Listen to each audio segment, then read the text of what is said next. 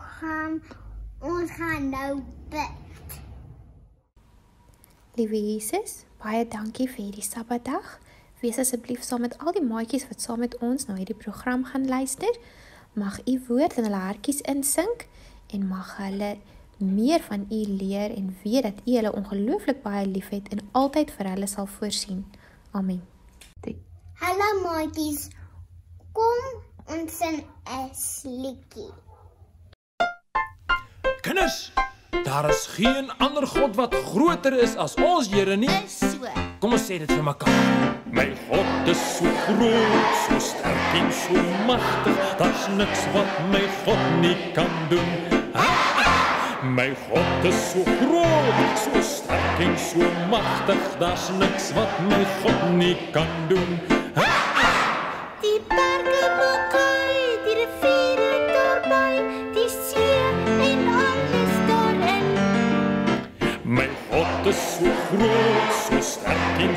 En so magtig. Daar's niks wat my God nie kan doen.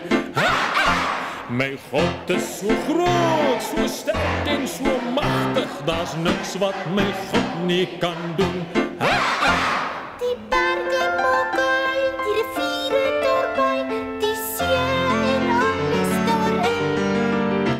My God is so groot, so sterk en so magtig. Daar's niks wat my God nie kan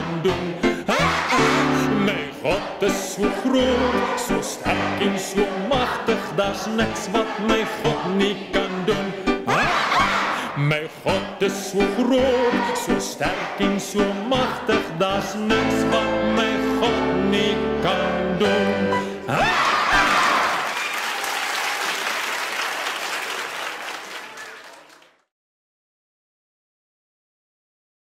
Al die maatjies wat verjaar het hierdie week, geluk met julle verjaarsdag. Ons gaan nou vir julle sing.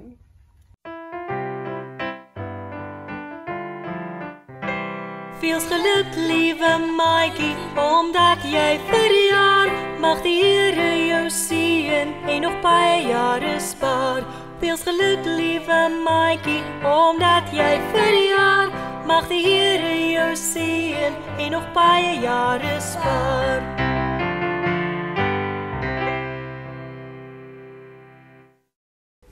Hallo maatjies.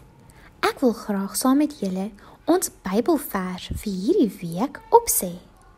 Nahum 1 vers 7. Die Here is goed. Hy is 'n toevlug in tyd van nood.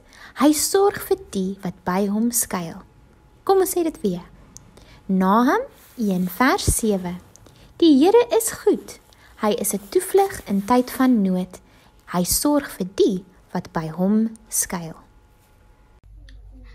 Maatjies, Jesus het vir ons 'n belangrike werkie gegee. Dit is om vir ander mense van Jesus te vertel. Kom ons luister nou na ons sendingverhaal van hoe om dit te doen. Nou is dit tyd vir ons sendingverhaal seuns en dogters. En ons sendingverhaal vandag se titel is 'n ware sendeling. Rerowi Winga het 'n vriend aan Christus voorgestel toe hy maar nog 'n jong seun was. Vader, 'n soldaat in die Gabonse weermag, was gestasioneer in die oostelike stad. Daarom het Rovira sy ouers en vier jonger broers en 'n suster na 'n nuwe huis getrek in daardie stad. Maar hulle het 'n probleem gehad. Daar was nie 'n sewende dag Adventiste gemeente in die stad nie. Daar was wel 'n kerk gebou, maar dit was al vir jare toe. Daar was geen lidmate nie. Die gebou was oud en dit het ook begin in mekaar val. Vader het vir Roveri en die res van die gesin bymekaar geroep en hulle het begin om die kerk reg te maak. Ons sal op Sabbatdae hier in die kerk vir God aanbid, selfs al is ons die enigste adventiste in die stad, het Vader vir hulle gesê. Die gesin het baie hard gewerk om die kerk te herstel en nie lank nie of hulle elke Sabbat en elke Woensdag aand vir bidtuur en elke Vrydag aand vir Sabbat opening daar begin aanbid het. By die skool het Rovere nuwe vriende gemaak. Hy was baie lief vir Jesus en het daarvan gehou om oor Jesus te praat. 'n Nuwe vriend, Glen, was nuuskierig en wou meer weet. Die twee seuns het begin om na hulle na skool oor Jesus te praat. Een Vrydag aand het Rovere by die kerk aangekom saam met sy ouers, sy klein sussie en sy drie boeties om Sabbat te open. Tot sy verbasing het Glen buite die kerk gestaan en wag. "Wat doen jy hier?" vra Rovere.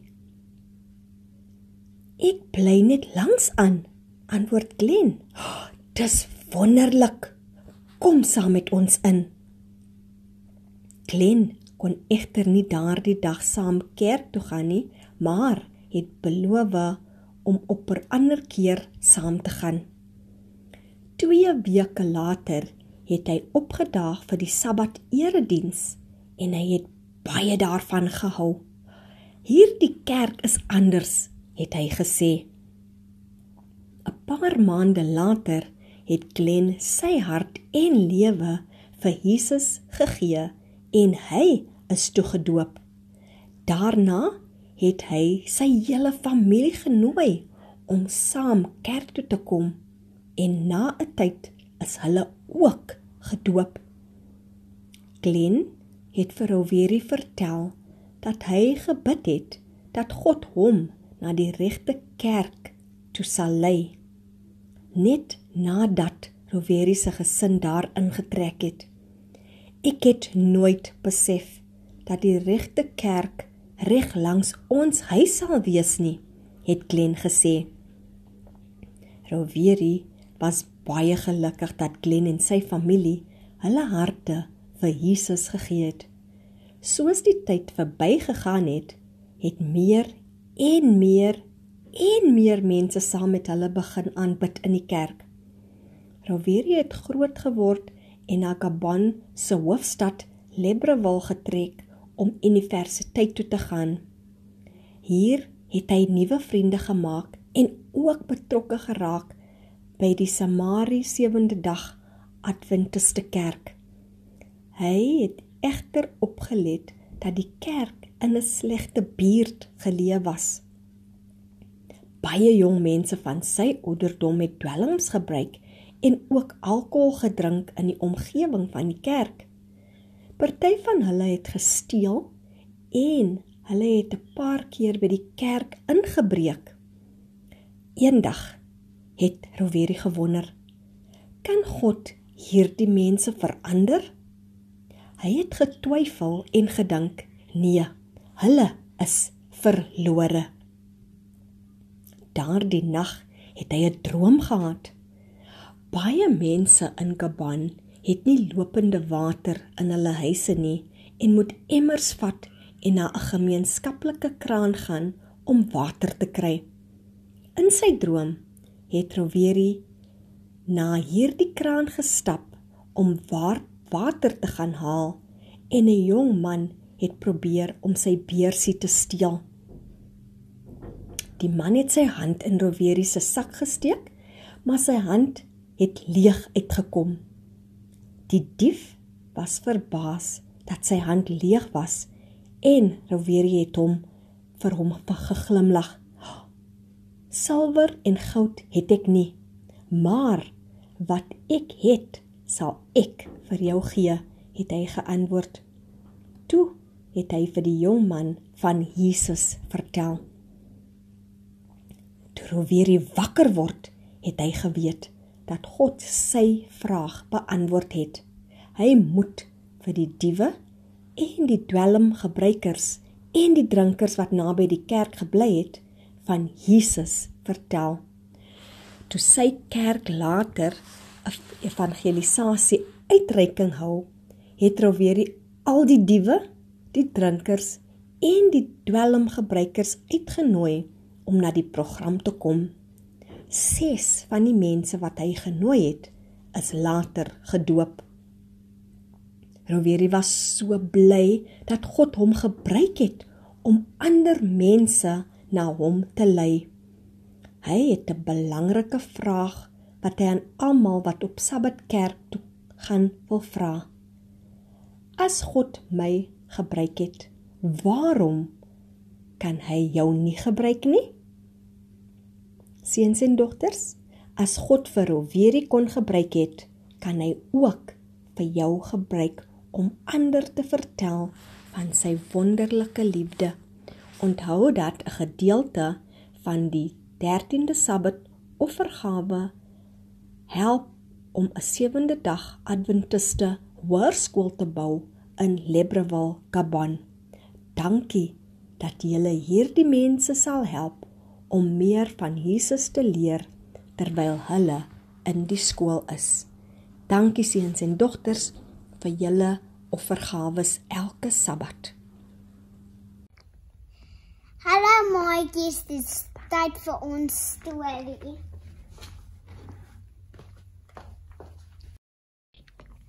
Hallo maatjies, dit is tyd vir ons storie. Maar kom ons bid net eers gou. Dankie lieve Jesus vir die lekker dag wat ons gaan hê en help ons om 'n lekker Sabbatdag te hê en help ons om musiek te luister na die Bybelstorie. Amen. Goeiemôre maats. My naam is Elia. Kan julle onthou hoe God my na die weduwee se huis toe gelei het? Ek is nou al hier vir 'n rukkie. Tot nou toe het ek in 'n klein kamer op hulle dak gebly. Dis baie lekkerder om hier te bly as om net te kamp langs die klein rivier. Dit was soms koud daar.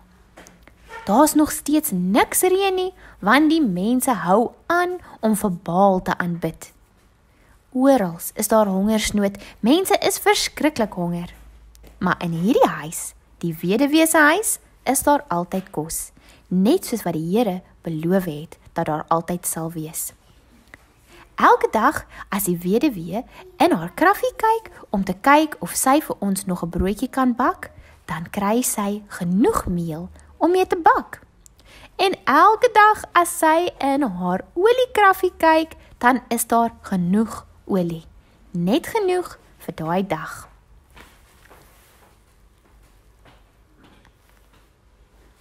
Elke dag sê ons vir God baie dankie dat hy na ons kyk.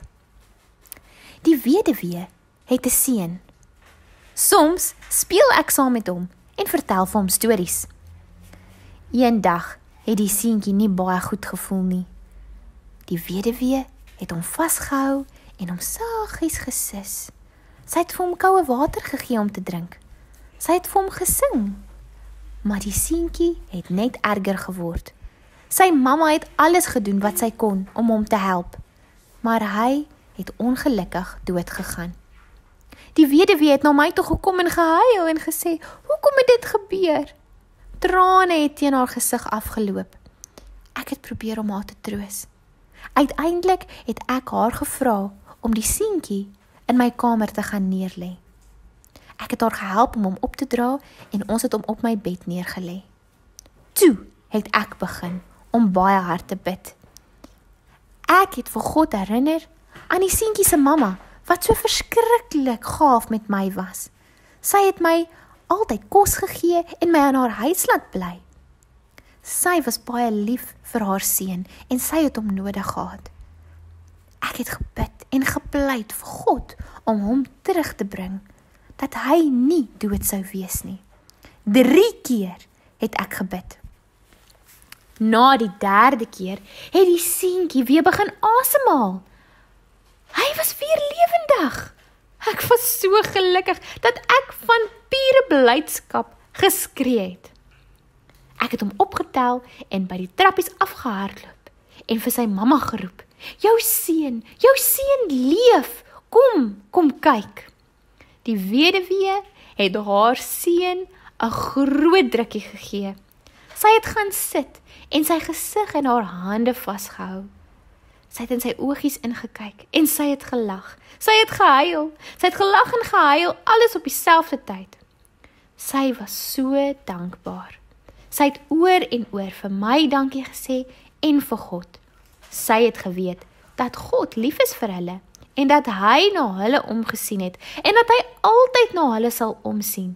Maak nie saak wat gebeur nie. Ek het ook geweet dat God altyd na my sal kyk. En weet jy wat?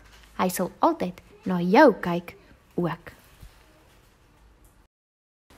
Maat, God gee altyd die beste antwoord op ons gebeure.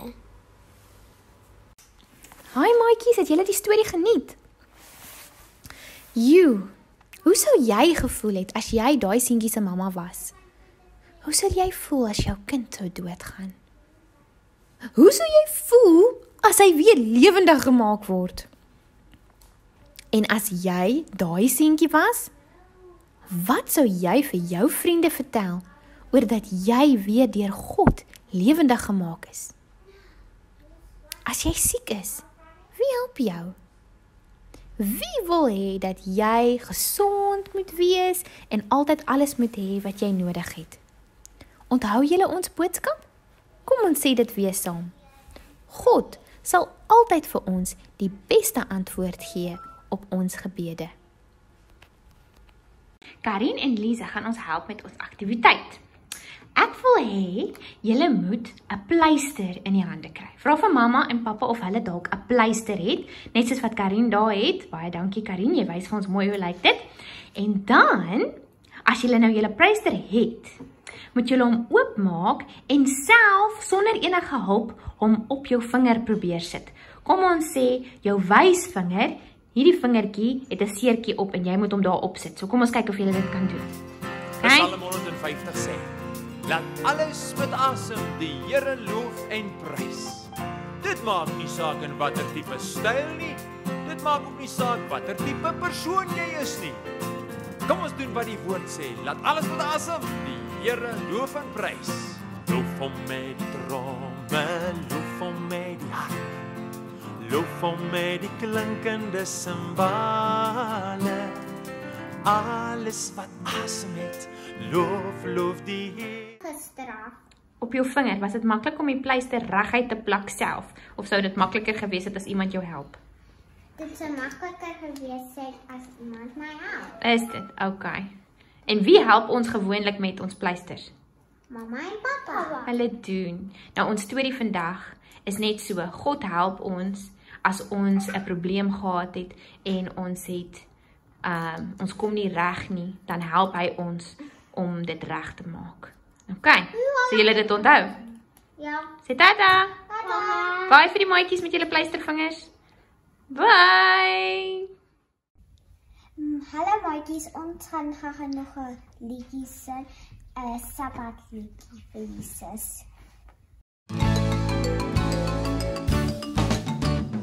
Ek vertrou op Jesus, Ek vertrou op Jesus, nie op 'n spinnerak. nie op 'n spinnerak. Jesus is my herder, Jesus is my herder, Jesus is my rots.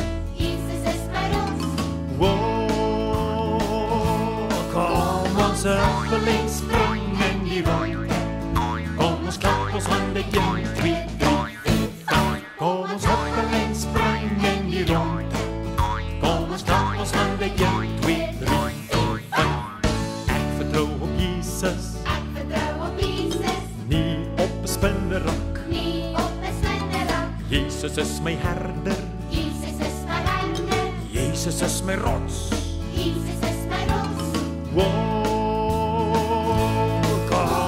Kom ons huppel en spring in die rondte. Kom ons klap ons hande 1, 2, 3, 4, 5. Kom ons huppel en spring in die rondte. Kom ons klap ons hande 1, 2, 3, 4, 5. Die dwaase man bou sy huis op die sand.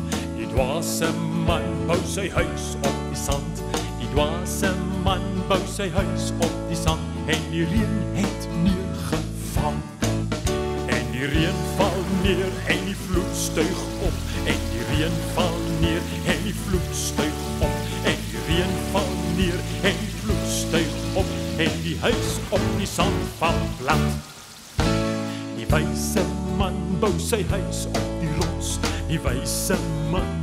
sy huis op die rots. Die wyse man bou sy huis op die rots en die huis op die rots staan vas. En die reën val neer en die vloed styg op en die reën val neer en die vloed styg op en die reën val neer en die vloed styg op en die huis op die rots staan vas.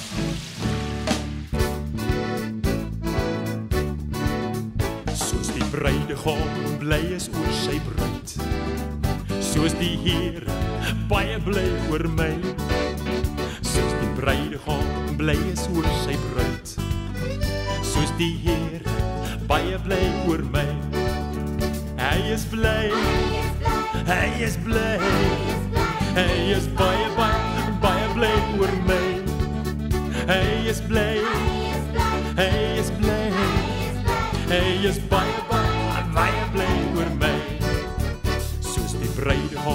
bly is oor sy bruid. Soos die Heer baie bly oor my. Soos die bruidegom bly is oor sy bruid. Soos die Heer baie bly oor my. Hy is bly. Hy is bly. Hy is baie baie baie bly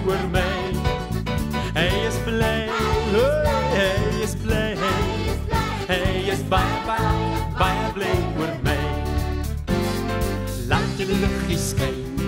Laat julle liggie skyn. Ek sal my lig laat skyn. Ek sal my lig laat skyn. Laat dit skyn, laat dit skyn, laat dit skyn. Laat julle liggie skyn. Laat julle liggie skyn. Ek sal my lig laat skyn. Ek sal my lig laat skyn. Laat dit skyn, laat dit skyn, laat dit skyn. Van kop tot toon Van kop tot toon kan iemand woon. In my. O ja, van kop tot toon. Van kop tot toon Van kop tot toon kan iemand woon. kan iemand woon. Ja, woon in my. O ja, van kop tot toon. Filippense 4 vers 4 sê verbly jou in die Heer. Filippense 4 vers 4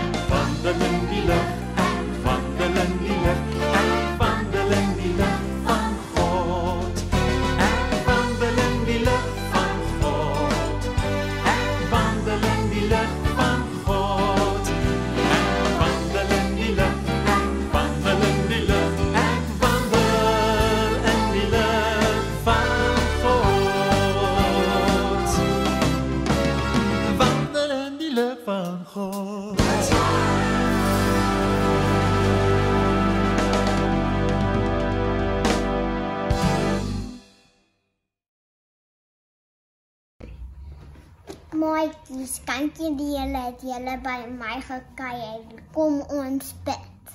Maatjies, kom ons sluit ons oë. Dankie liewe Jesus vir die lekker Sabbatskool wat ons gehad het en help ons om volgende week na die Bybelstudie te luister. Amen. Tata maatjies, ons sien julle volgende week. Bye.